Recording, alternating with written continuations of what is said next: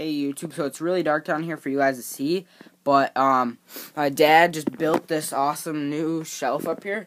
Um, so it's holding on to some wood right there, over there, and then back up there.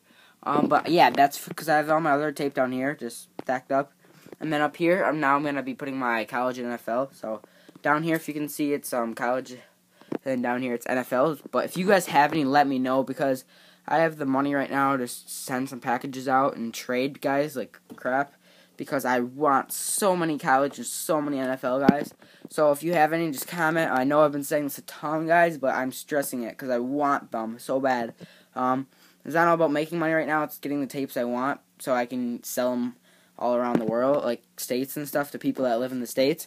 And I'm gonna be planning on having a website and eventually um, as you know, a debit card. And uh, yeah, guys, so thanks for watching. I'm going to try making this channel as best as I can, guys. So peace out. Later. Bye.